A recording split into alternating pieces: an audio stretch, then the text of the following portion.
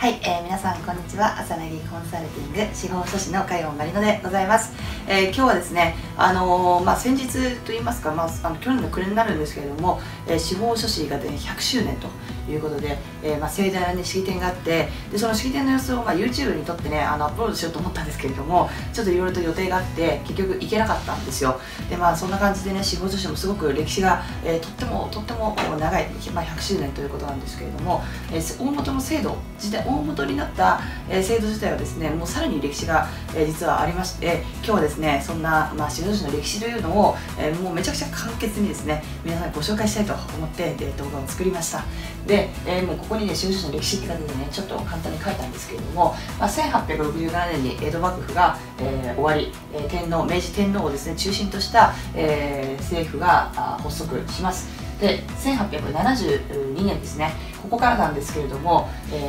ー、太政官、えー、無豪達というものによって、えー、というものによってですねあの、まあ、フランス式で、ー、小書人大書人大言人っていうんですかね多分、えー、というねこの3つがですね、えー、まあ制定されるわけなんですがこの太政官というのはですね古代の政府の名前を太政官というふうに言っていたそうです。で明治天皇がですねトップの、えー、政府が発足したのをきっかけにですね、えー、古代の政府の名前を、まあ、復活させたということだそうです。で、えー、なので、えー、太政大臣であったり、えー、左大臣、えー、右大右大臣などなどあってで下に大蔵省とか宮内庁とかっていう省庁を置いていたということであります。で、えーまあ、この中で、まあ、小書人大書人大五人というものが、えー、3つ制定されます。でこの証書人というのが、今でいう交渉人ですね。交渉役場で、遺言書のですね、えー、まあ、公正証書の遺言書とか言いますけれどもこういったのを作っている人、まあ、あの株式会社の定款認証したりしている人ですよね、えー、これが交渉人、えー、そして、え代書人というのがですね、えこれが司法書士です。で、えこの代言人というのが、え弁護士という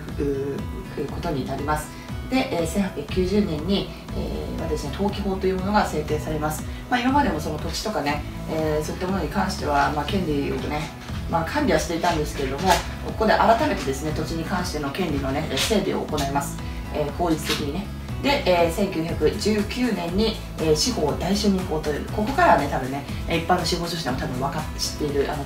知識としては知っているところなんですけども司法大主任法というのが、制定されます。あそしてですねここで、えー、初めてもともとは大書人という一括りだったんですけれども司法大書人という名前に変わって、えー、司法大書人と一般大書人というのに分かれます。でこの司法大書人というのが司法書士、え、一般大書人というのが、え、行政書士のことを指します。そして1935年には、え、司法書士法に名称が変更します。今の司法書士法ですね。なのでこの1919年から数えて、え、司法書士100周年ということですね去年。えー、というふうな感じであります。そして、えー、1945年に終戦が、えー、終戦し、えー、そして1950年ですね、えー、ここで新司法書士法というのが制定されて、えー、国の監督権がなくなる、えー、自治権自治権を、まあ、持つようになると、まあ、あの法務省とかで、ねーまあ、あの一般的に企業企業資料というのは、えー、どんな、まあ、世界的に見ても、えーまあ、自分たちで、えー、ルールを決めていく、えー、弁護士なんかが最たる例ですけれども自分たちで、えー、自治をしていくというのが世界的にも統一されていたので、えー、ここで国のあの今まで多分国がね、えー、一括して見てたんですけれども各省庁の、ね、監督権、えーまあ、国の監督権をなくして、えー、司法書してあれば、まあ、法務省が監督権を持つようになります。そして、えー、1978年、えー、これここで初めてですね司法書士はですね国家試験というのを導入することになります。逆に言うとですね1978年までは、えー、司法書士国家試験、えー、試験がなかったんですよ。で、えー、じゃあ1978年までは誰が司法書士になれたのかとえー、いうことに関しては、えー、私相当調べたんですけれども実はあ載ってなくてですねネットとかには。なのでこれもしね分かる方がいたら、えー、ぜひ教えてください、えー、今年の合格者とかね、えー、そういった、まあ、方々結構ね司法書士の歴史とかからね多分研修で学ぶと思うんでもしかしたら誰か、ね、研修の講師の先生とか言っていたとかいうのがあればねぜひコメントでね教えてほしいんですけれども、えー、1978年に国家試験、えー、とにかく導入されてここまではね家しかいなくってどんな人が司法書士になれたかっていうようなそういった、えー、ことは、えー、ちょっと公表されてない、えー、ちょっと私も分かっていないんですけれども、えー、実際1978年って結構最近ですからね、えー、ここまでが、えー、試験が導入されてなかったということです、えー、そして最近でいうと2002年関西代理権が付与されます、えー、140万円までの140万円以下のですね、えー、簡易裁判所にですね、えー、属するあのの、まあ、案件まあ、ちょっと例外もありますけれども、えー、140万円以下であれば、司法書士がですね裁判の代理人となって、えー、法廷に立つことができるということで、えー、ここら辺からね、まあ、過払いとか、えー、なんかまあいろいろとあって、えー、司法書士の知名度もどんどん上がっていったとようなね、え、そういった、まあ、歴史があるので今日はねちょっとそれをずらっとね紹介させていただきました。そして、2002年関西代理権そして2017年これはね皆さん何だか分かりますか？2017年はですね、えー、私がですね司法書士試験に合格した年であります、えー、まあそんな感じでねあの自分のまあなんかこう職業の歴史というものはね、えー、すごく勉強なんていうのかなふとした時に調べてみたりとかねすると本当にまああすごいね歴史あるものなんだなっていうことでねえー、まあ、こういうふうに勉強にね、えー、なったりするので皆さんもぜひね、えー、自分の職業の歴史とか、え調べてね、え見てほしいなと思います。結構意外とね、え面白かったりもいたします、えそれからまあやっぱ資料っていうのはこういう歴史を見るっていくと分かるんですけれども、まあ、どの資料もそうですよね。あのもともとは、えー、国そして、えー、各ね、え、省庁の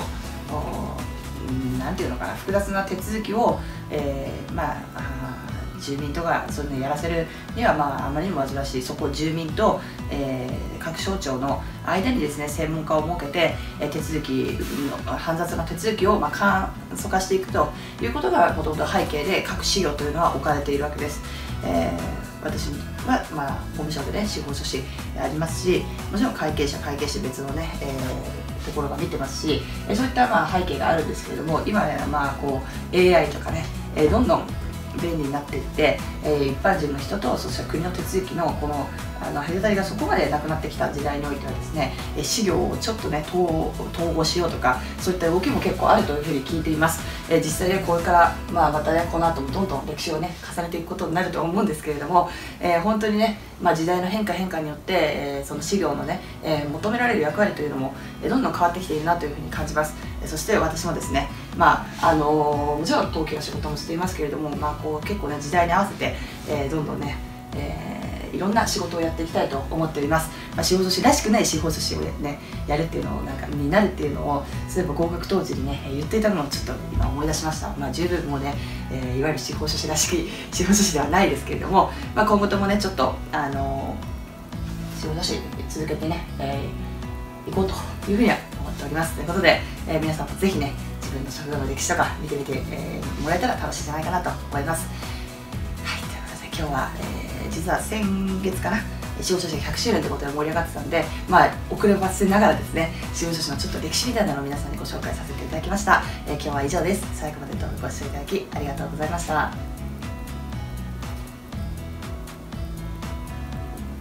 いつも最後までご視聴いただきありがとうございます、えー、チャンネル登録よろしくお願いいたします。